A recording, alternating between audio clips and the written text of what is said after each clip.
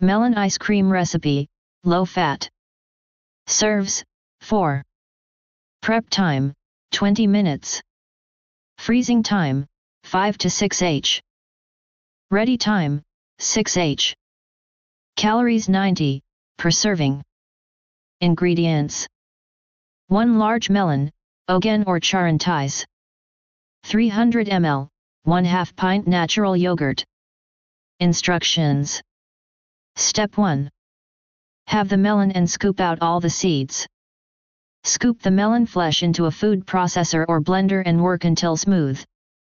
Step 2. Mix the melon puree with the yogurt. Step 3.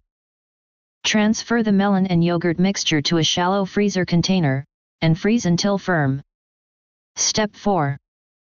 Serve the melon ice cream in scoops.